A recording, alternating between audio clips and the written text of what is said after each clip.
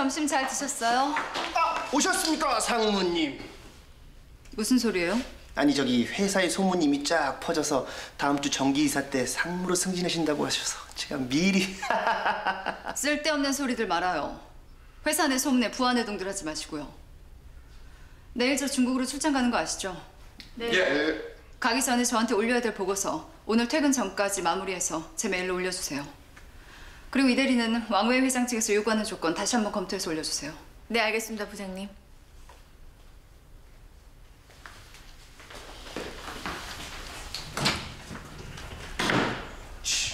자기도 상무들 거 기다리고 있으면서.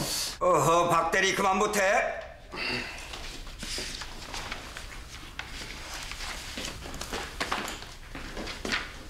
저봐 저봐. 또 부장님 방에 들어가잖아. 저 자식 정말 뭐 있다니까 부장님 상무님 되시는 게 틀림없어 에라이 그래 너 출세해라 이 자식아 박 대리 혜주 씨.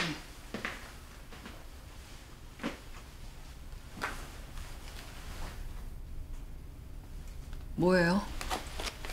사직서입니다. 수리해 주십시오.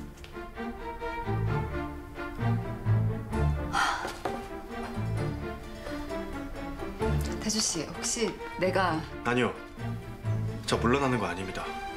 저 아직 부장님께 한 청혼 그 답 기다리고 있습니다. 부장님과 결혼하기 위해서 그만두는 겁니다. 수리해 주시면 그때 드릴 말씀이 있습니다. 수리해 주십시오.